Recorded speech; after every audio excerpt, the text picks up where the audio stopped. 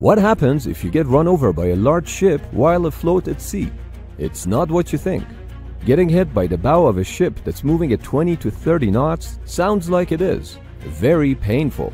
Not only because you're getting hit by a massive metal object at high speeds, but there's also a chance that the ship's bow and hull are covered with barnacles, which are razor sharp creatures. Your body will most likely be destroyed.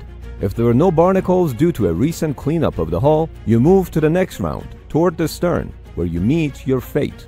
A large amount of water is continuously forced through a ship's propellers, which creates a low water pressure zone in the front of the propeller and a high pressure zone behind the propeller. If you end up sliding on the side of the hull, or if you somehow end up under it, you really don't want to be sucked into the low pressure zone in front of the propeller. Do we need to explain what happens when your body goes through a massive propeller turning at 100 plus RPM? Let's just say shark and other fish will be very thankful.